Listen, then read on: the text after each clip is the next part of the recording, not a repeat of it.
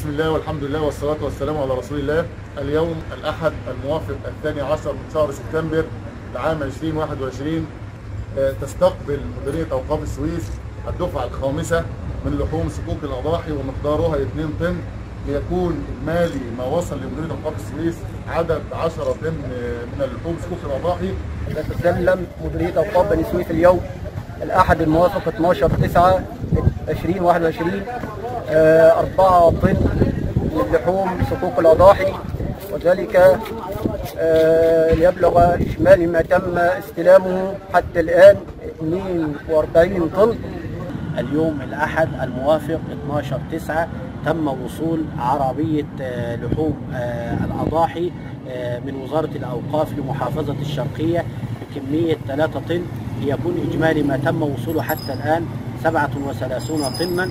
فقد تسلمت مديرية أوقاف البحيرة اليوم الأحد الموافق 12 سبتمبر 2021 حمولة لحوم صكوك أضاحي تزن أربعة أطنان.